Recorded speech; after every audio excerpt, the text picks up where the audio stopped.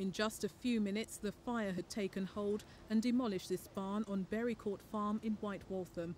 One teenager died in the blaze, nine children were taken to hospital suffering from minor injuries and shock.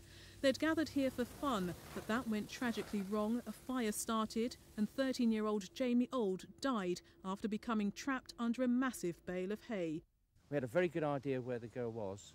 Uh, the children had given us a good pinpoint, and so we concentrated our efforts on that. But it was she was right at the very back, and uh, very very difficult to, to get to her. This afternoon, some of the youngsters who were in the barn relived the horror of last night. Everyone, everyone was just screaming and shouting and crying. And Matthew went to the house next door to go and get help, and then everyone was just like laying down on the field crying. I bring her up, and then the fire quickly started again, so I let go of her, you know, in shock. And then I quickly held her hand as she was falling, and then suddenly, you know, I can her hand slipped away from mine.